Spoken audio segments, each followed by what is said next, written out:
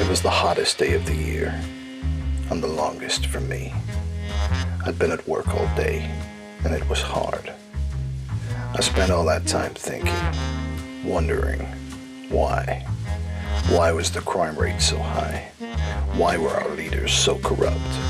Why was Jason Nash so popular, and why on earth was I wearing the suit to serve Happy Meals at Burger King? There were too many questions. I arrived home at 7:37 p.m. After a long, hot, dripping, wet day, I needed a drink. So I grabbed an unbranded cola from the fridge because I'm not sponsored by Coke and swallowed it hard.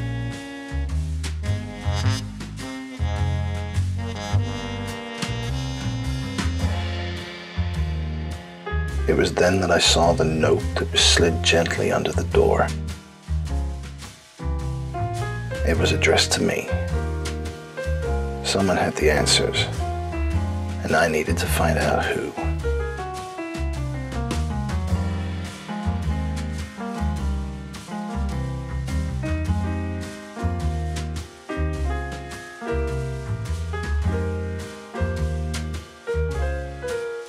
Before I could leave, I needed a shave, a shower, and a change of clothes. I said I needed to change. What's wrong with you people?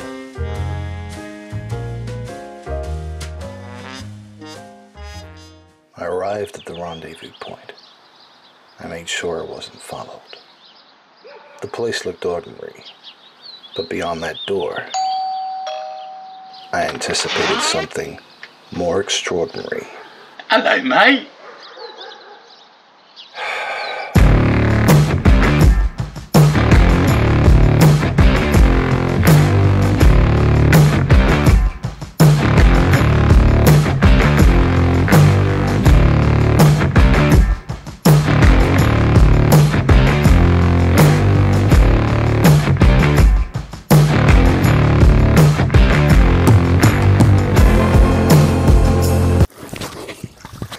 Hello and welcome to the Busy Man's Guide with me, Paul Adams. Now, it's been a while since I've done any kind of photography tutorial or anything like that, which is originally what this channel was for. So why don't you follow me and we'll do that today. If I can get up. So we're here out in this, it was sunny, it's been sunny and cloudy, sunny and cloudy, but that's absolutely fine. We're in Steve's mum and dad's back garden where we've spent a lot of time over the last 10 years. Now, one thing I haven't done in the channels, which I should have done, was address the competition that I did a few weeks ago. So I'm going to announce the winner of that hidden word competition. And the winner is no one, because none of you took part. So uh, nobody wins the, uh, the Amazon voucher, but I will put the answers at the end of this video. So if you look at the end, then you can see uh, what the answers were. And I'll do another competition another time when more of you are interested. So the thing that we're going to do today is we are going to do low-key photography outside in the open.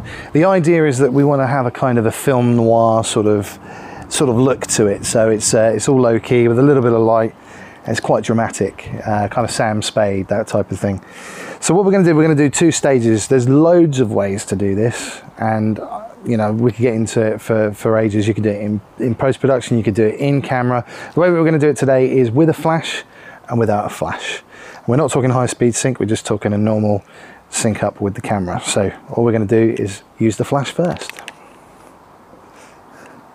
Okay, what I'm about to tell you, you can find lots of information elsewhere on, on other vlogs and, and, and within the internet. So I'll just give you the basics of this. What we're going to do to use the flash version of this is we're going to turn the ISO as low as we possibly can.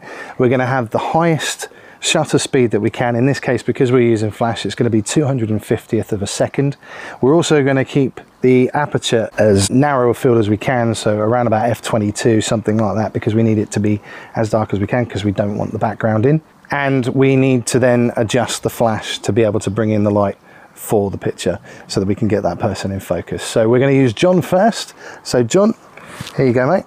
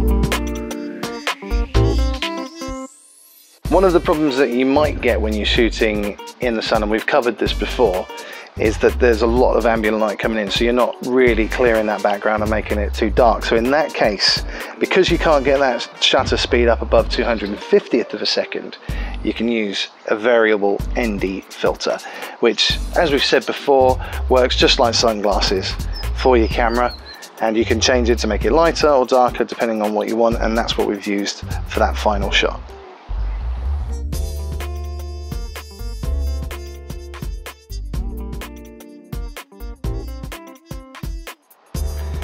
So that was with flash, but what if you don't want to use flash?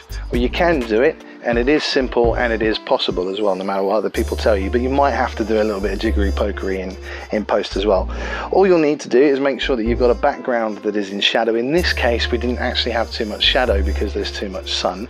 So we've used this black netting from from a trampoline cover. That works perfectly as well. What you want to do is put your camera on spot metering as well because that will focus in on the exact target and ignore everything else around it. And of course you need the highest shutter speed that you can. So we put fill into this situation and this is what we got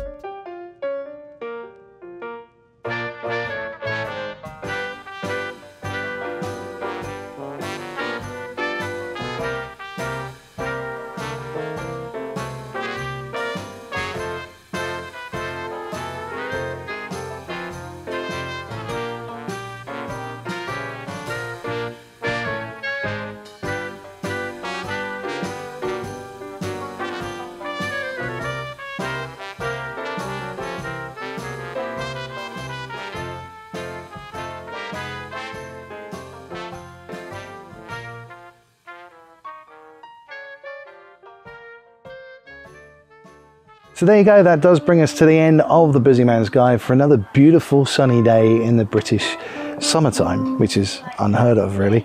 If you want to see how we edit those photos, Steve's going to do a whole tutorial on that on his channel. So make sure you click the link to his channel, give him a like, subscribe to his channel because uh, he needs some love as well. And if you want to find out what the answers were to those hidden words in the I'm Not Inspired video, then click on the video on the end screen at the end of this video. Please like and subscribe and hit that bell so that you don't miss out on anything. And remember, stay sharp, stay focused, and stay busy.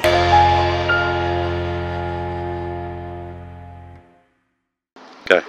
Stay sharp.